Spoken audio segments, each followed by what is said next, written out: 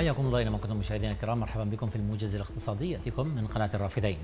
انخفضت أسعار صرف الدينار أمام الدولار الأمريكي في أسواق بغداد وفي أربيل ومع افتتاح بورصتي الكفاح والحارثيه سجل الدينار 1498 دينارا عراقيا مقابل كل دولار فيما سجلت يوم الخميس الماضي أسعار الدينار 1497 دينارا مقابل الدولار الواحد. وفي محل الصيرفة بالأسواق المحلية في بغداد بلغ سعر البيع 1507 دنانير بينما بلغ سعر الشراء 1487 دينارا لكل دولار.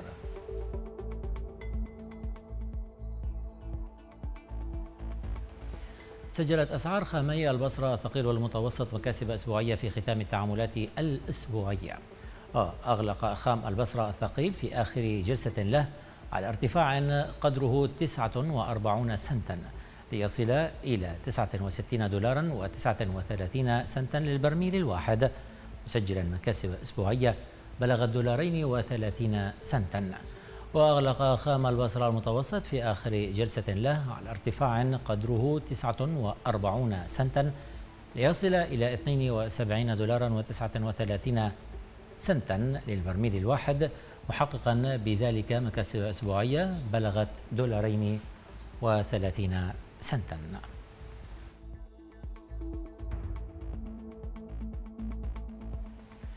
أعلن المدير العام للتجارة في كردستان العراق نوزاد شيخ كامل أنه سيتم حظر استيراد السيارات من موديل 2022 ابتداء من شهر كانون الأول من العام الحالي. وأوضح الشيخ كامل أن استيراد أي نوع من السيارات ذات الموديل المذكور لن يسمح به بعد نهاية شهر تشرين الثاني من العام الحالي. وأشار أنه سيتم فتح المجال لاستيراد سيارة من موديل 2025 بعد هذا التاريخ. في حين سيظل استيراد سيارات 2023 و 2024 مستمرا كما هو دون أي تغيير.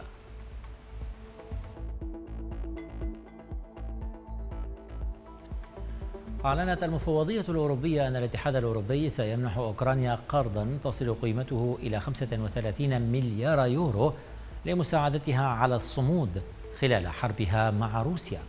وكشفت المفوضية عن القرض أثناء زيارة إلى كييف موضحة أن القرض هو جزء من خطة أوسع نطاقا بين مجموعة الدول الصناعية السبع الكبرى لجمع أموال من عوائد الأصول الروسية التي جمدتها لمعاقبة روسيا بعد اندلاع الحرب في أوكرانيا.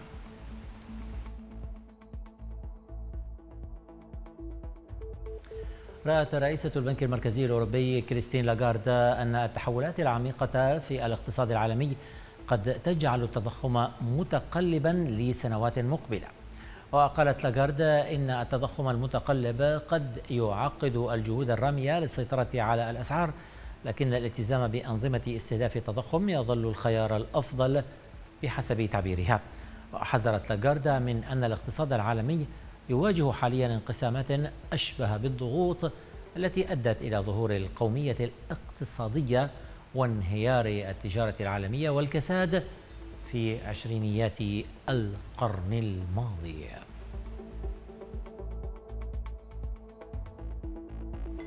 كان هذه انتقالة سريعة مشاهدينا الكرام إلى أسعار صرف العملات الأجنبية وأسعار المعادن.